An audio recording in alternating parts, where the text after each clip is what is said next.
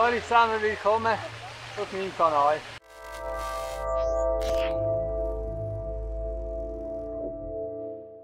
Die, die dran geblieben sind, wir sehen jetzt wie es weitergeht.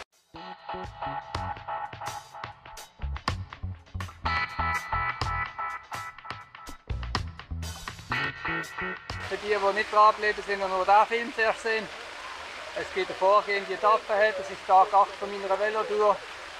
Hier geht es jetzt weiter in Montreux, irgendwie hier in der Nähe, wo Montreux Jazz Festival ist. Wahrscheinlich könnte es auf dem Platz etwas stattfinden. He? Da ist überall Skulpturen rum und Kunstwerk und weiß nicht was alles. Ich habe mir den Platz ausgesucht mit dem Brunnen, he? Springbrunnen, kann man sich gut merken. Hinter mir oben ist die Hauptstrasse, wo es gerade losgeht zum nächsten Etappenziel. Bleibt dran oder lasst es bleiben. Links geht es rauf zum Bahnhof oder zu Einkaufsläden, sehe Laden zum Einkaufen. Hier sieht es überall nach Essen aus. Wenn ihr etwas braucht, deckt euch hier wieder ein.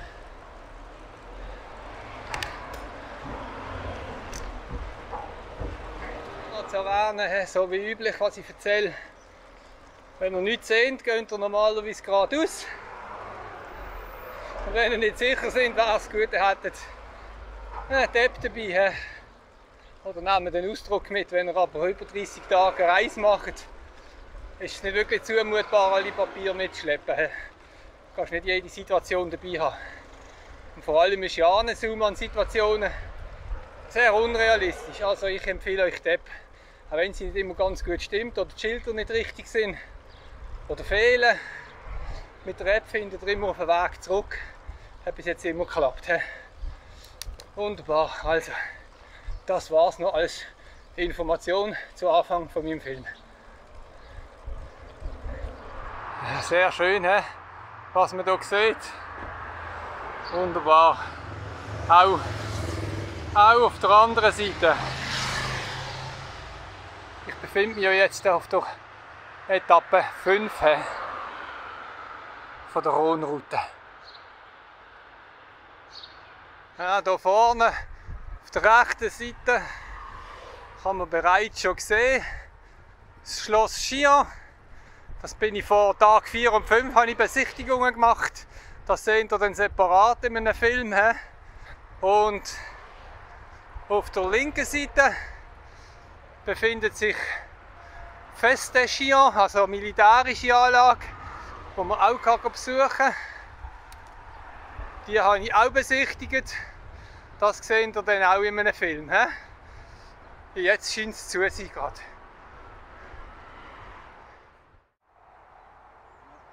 Nochmal einen Blick zurück, he?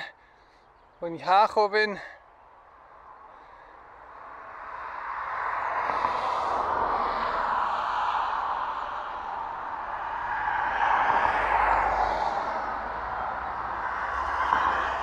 hier innen durch, wieder an den See runter.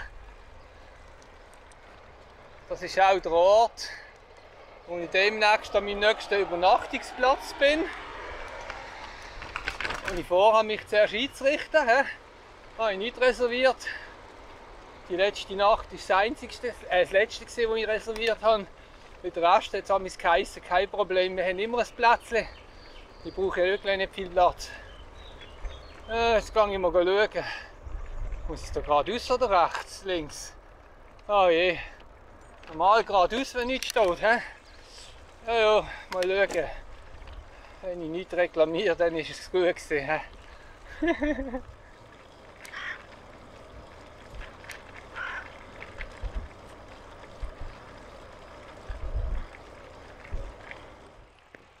Ich befinde mich jetzt hier bei einer Wandertafel und einer Veloroute drauf ausgerichtet ist. Das ist eine Wandertafel Le Grand Guet, 373 Meter. Und dort vorne auf der anderen Seite ist auch gerade Tafel, wo es zum Campingplatz geht, der gleich heisst wie das hier, die Ortschaft hier, äh, der, der Platz hier. Bedeutet, ich gehe jetzt hier zuerst hinterher. Theoretisch könnte man vorne rechts gemessen Karten, aber wenn das hier schon so angeschrieben ist, gehe ich jetzt hier mal hinter und schaue mal. Und dann geht die Etappe hier nachher wieder weiter. Jetzt gehe ich zuerst schauen, dass ich einen Platz beziehen kann. Dann habe ich den schon und kann mit weniger Gepäck losfahren. Okay, bleibt neugierig. Mal schauen, was man da und erwartet. Irgendwo hier auf der Wiese soll ich es anstellen. Ich stelle das, wenn ich jetzt sehe, dass die Sonne da oben geht, geht sie dort unter. Geht sie hinten auf. Dann stelle ich mein Zelt so hier auf die Seite, dass ich Morgen Sonne habe, dass das Zeug schnell wieder trocknet, das feucht worden ist. Wunderbar. Das war es für diesen Tag hier, äh, diesen Platz hier. Jetzt befinde ich mich also an dem Platz, wo ihr jetzt seht, wo ich die Route weiterfahre. Das ist eine Wandertafel. Le Garget 373 Meter. Und hier führt auch die andere Route durch. Also, los geht's. Hier seht ihr noch das Schild. Rechts geht es zum Campingplatz hinten. Für mich geht das hier jetzt äh, geradeaus. Das ist die Tour, die ich hier fahren tue.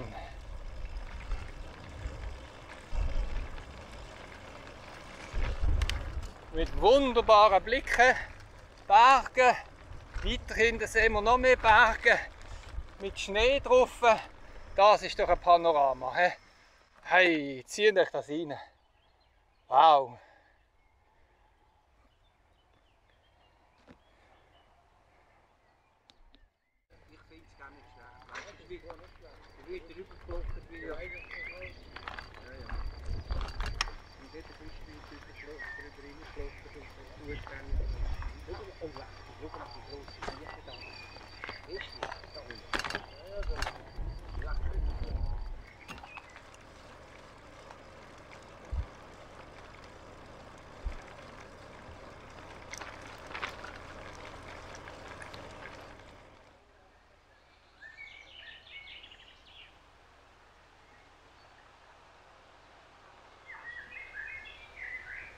Tafeln über See. Denn geradeaus dürfen wir nicht. Wir müssen hier im Wald rein. Ist dann lässig. Aber es ist ziemlich eine Rüttelstrasse. Jetzt Löcher, muss man aufpassen. Je nachdem, was man am Velo geladen hat. Wenn es nicht so stabil könnte sein. Seit mein Zubehör von meiner Action Cam verreckt ist, bin ich vorsichtig und hoffe, dass nicht mehr verreckt. Ah, so schön ist es hier, jawohl. Ein Brunnen gibt es auch wieder hier. Immer die Frage, wenn sie laufen. Nicht angeschrieben, also Trinkwasser. Wir müssen hier, hier offen, he? ringsrum. Und dort oben die Tafel. Geht es hier über die Brücke drüber. Auf die andere Seite. He? Hier auf der Brücke. Da fließt jetzt also die Rhone. Ziemlich dunkel, ein Haufen gröllig drin. Also mein Holz, he. Treibholz, das hat ziemlich gekuttet weiter oben, dass da so viel Zeugs drin liegt. Das ist die Brücke, wo ich drauf bin. Und in die andere Seite nochmal das Bergpanorama, das ich jetzt euch schnell in die Nähe bringe.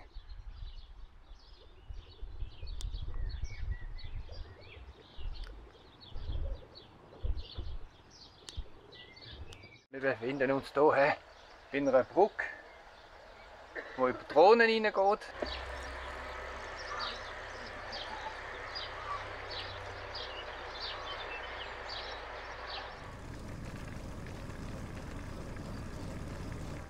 Ja, was ich euch trotzdem hier jetzt auch noch zeige, da ist irgendein Gebäude, wo man extra schön gemacht hat, dass man das sieht, wie es verlassen aussieht.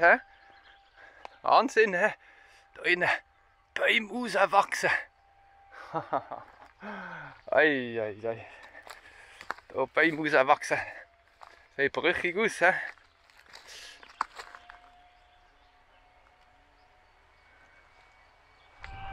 Und so sieht es von der anderen Seite aus. He?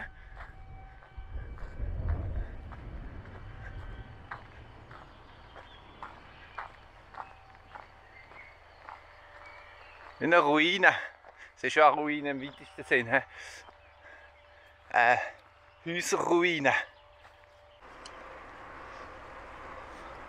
Von Tag 9 auf Tag 10 Hat es ein bisschen nach geregelt. Es war alles nass. Gewesen.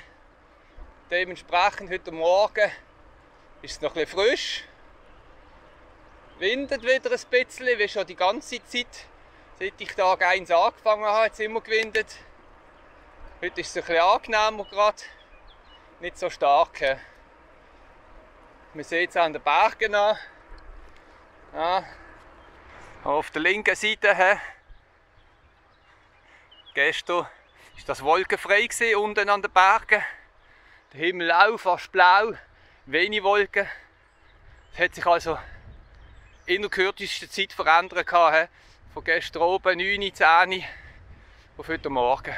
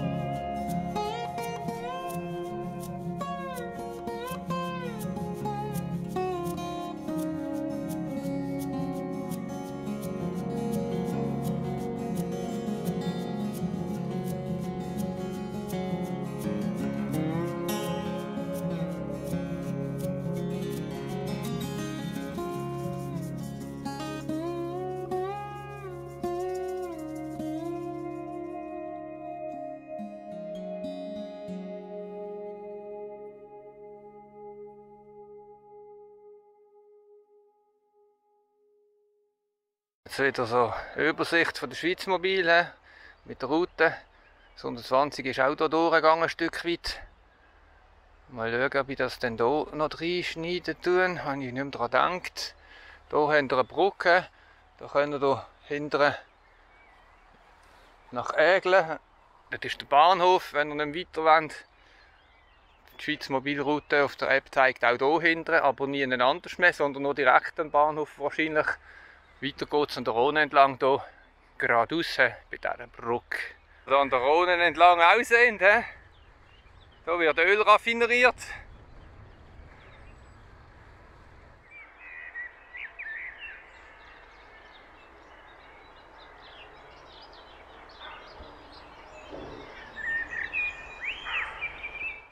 Umleitung. Schön, hä? Signalisiert haben sie es da mit einer Tafel. Aber. Ja, man sieht es nicht. Aber auf der App ist nicht signalisiert, dass da eine Umleitung ist. Jo, dann halt. Wir schauen, die zeigt, ja, wo zeigt sie an? Mal geradeaus runter. Ich hoffe, dass ich dort unten gesehen habe, ist gut signalisiert. Ich muss sagen, dort kurz nachdem ich runtergefahren bin, hat das Velozeichen um geradeaus weiterfahren. Ich habe gedacht, gemäß der Karte, wir können ja schauen, wo man ist, ist es näher innen durch und nicht von außen kehren. Und so bin ich jetzt gerade am Baustelle angekommen, dort unten darf man auch nicht fahren. Ich bin da schnell das Hügel rauf. damit ich von oben schauen kann und das euch zeigen kann. Ich möchte euch das zeigen. Da unten bohren sie irgendwas, jetzt kommt da Wasser rauf.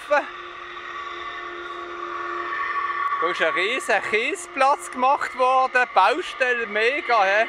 als Gebäude. Irgendwas sind sie hier am machen. Ja, so wie das aussieht, hast du keine andere Wahl. Das Zeug musst du irgendwie grossräumig über die Hauptstrasse umfahren. He? Das ist Riesenindustrie. Da bin ich gerade noch irgendwie bei einem Shop, da kann man schnell etwas kaufen.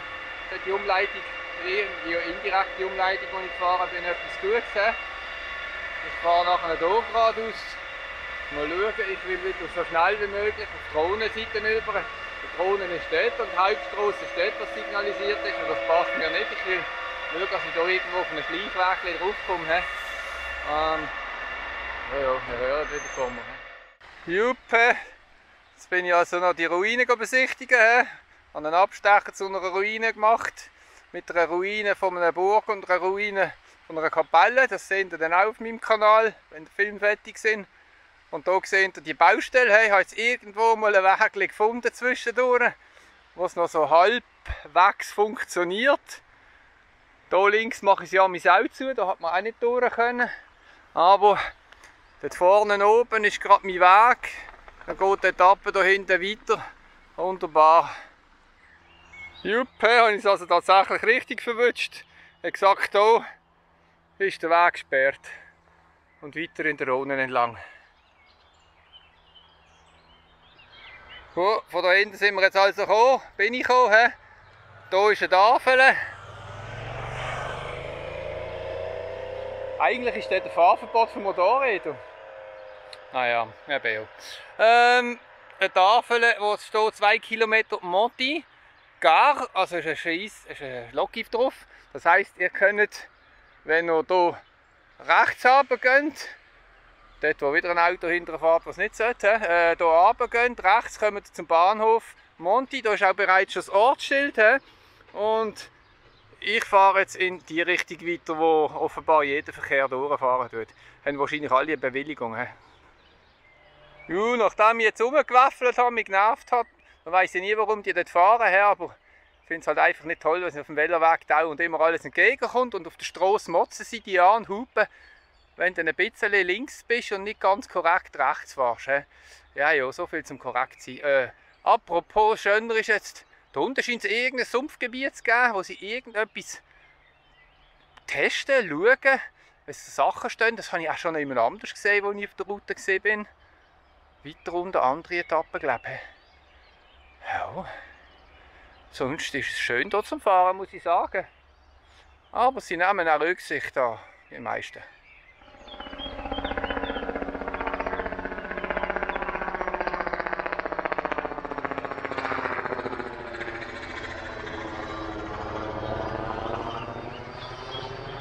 Das hier zeigt, äh, was das für ein Gebiet ist. Es steht halt alles auf Französisch die, die Französisch können, können es gerne lesen und anhalten das Bild haben. ja, bin da schnell nebenan gelaufen, he? gefahren, weil es da etwas Schönes zum Anschauen gibt und ich euch auch zeigen will. Ganz toll, muss ich sagen. Wow, jetzt wird es ein bisschen nass. He?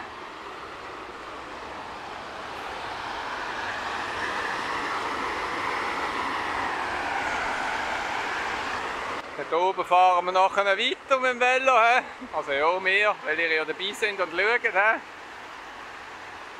Hier fließt auch nochmal ein Seitengewässer rein. Dort scheint auch nochmal irgendein Turm für irgendwas zu sein. He?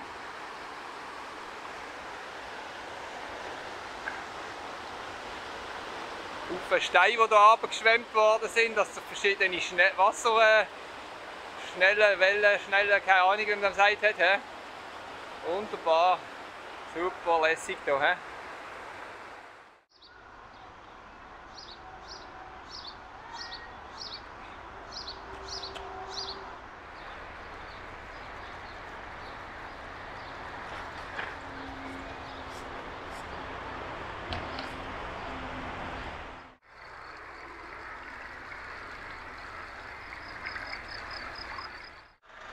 Ja, wenn ihr die Tafeln seht, he, dann sind ihr so gefahren wie ich. Dann müsst ihr über einen Bahnübergang. Offenbar muss man hier einen Moment warten.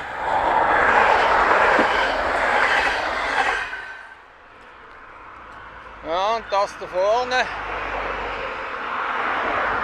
sind wir gerade auf Halbstrasse gekommen, wie ihr seht. Und das da vorne ist auch Château du Saint-Maurice oder de Saint-Maurice.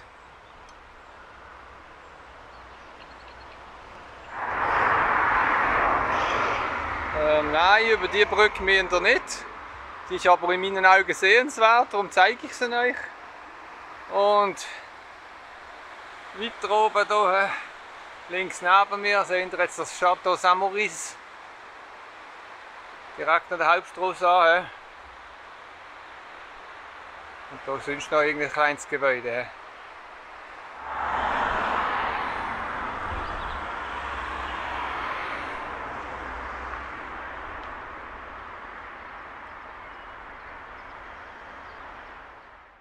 Ich dem so sagen in diesem kleinen Städtchen, Dörfli, hat es doch ein paar Einkaufsmöglichkeiten gehabt. Hier steht sogar ein Automat draussen gerade, was auch immer hier steht. Ja, da kann man wieder irgendwelche Sachen holen, wenn man Lust hat. Und ich muss rechts seit der Tafel da Schönes Städtchen mit einem Haufen alten Gebäuden. Jetzt fängt es wieder an zu tropfen. Die Tropfen sehen ein bisschen grösser aus. Die Sonne kommt nicht richtig durch. Oder?